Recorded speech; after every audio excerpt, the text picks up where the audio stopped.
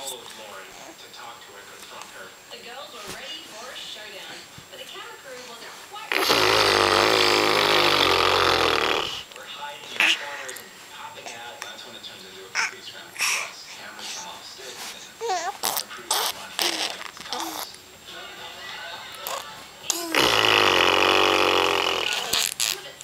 Good job.